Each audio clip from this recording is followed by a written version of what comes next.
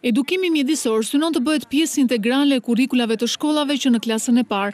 Nisma e iniciuar nga Ministria e Turizmit dhe Mjedisit ka nisur të zbatohet në shkollën nëntëvjeçare Ardian Klosi. Gjatë aktivitetit ku u prezantua libri Paketa e Gjelbër, ministri Klosi tha se edukimi i brezave është mënyra më e mirë për të kultivuar dashurinë për natyrën. Ky libër i bukur i bërë me kaq shumë dashuri nga ekspertët e mjedisit është bërë aq thjesht sa për çdo njërin nga ju që jeni që dini tashmë të lexoni, kur ta merrni në dorë do kuptoni që është një libër që ju shton dashurinë për natyrë.